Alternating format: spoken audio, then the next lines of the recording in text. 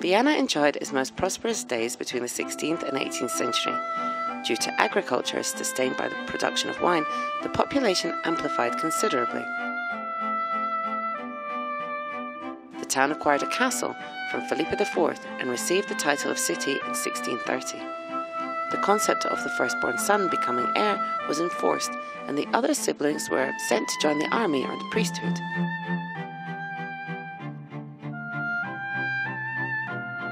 Ensured by the continuation of their lineage, the nobility built great houses.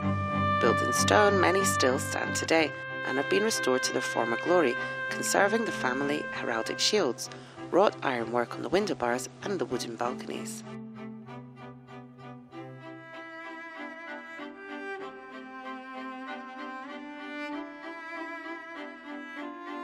The lower floor was built in stone and the upper in brick, with the upper floor often holding a gallery with pointed archways.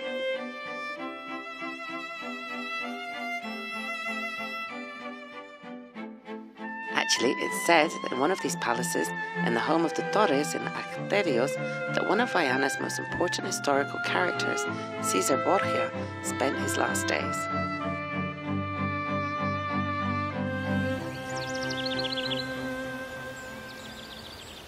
La primera vinculación de César Borgia con Navarra es su nombramiento como obispo de Pamplona cuando contaba con 16 años. Su segunda fuerte vinculación es el matrimonio con Carlota de Albret. Carlota, que es la hermana del rey navarro Juan de Albret. Por lo tanto, pasa a ser su cuñado, dato que será importante para entender por qué llega a Navarra César. He had fought in Italy for the Pope's army. After the death of his father, Pope Alexander VI, he fell into bad grace and was imprisoned by Fernando the Catholic in La Mota Castle. He escaped, and in the autumn of 1506, he took refuge in the lands of his cousin, the King of Navarra, Juan de Albret. The king had spent years immersed in a civil war between the Agramontes and the Beaumontes, who, at the command of the Count of Lerín, wanted a union between Navarra and Castile.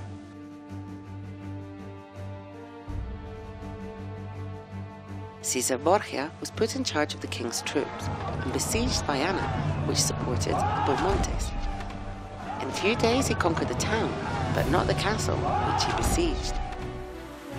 On the night of the 11th of March 1507, aided by a storm and the carelessness of the guards, the besieged received provisions from the troops.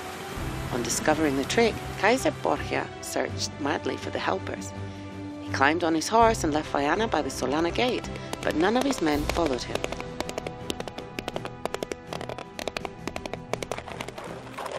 On the road to Mendavia, in a spot called La Barranca Salada, the knights of the Count of Lerín killed him with lances.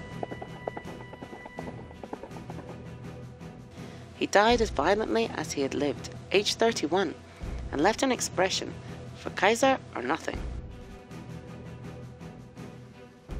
Viana was conquered by the King of Navarra and Kaiser Borgia was buried in St. Mary's Church on the left of the altar.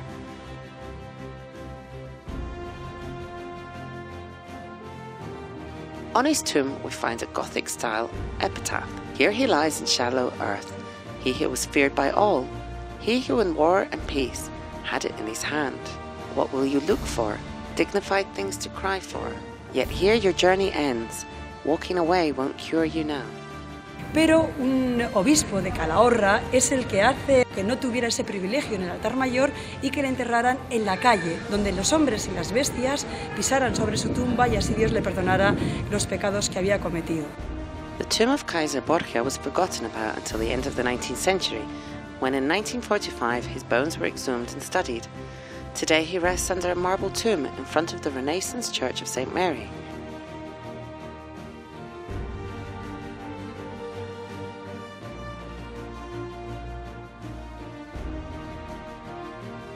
Viana still holds the memory of this man who lived such a turbulent life.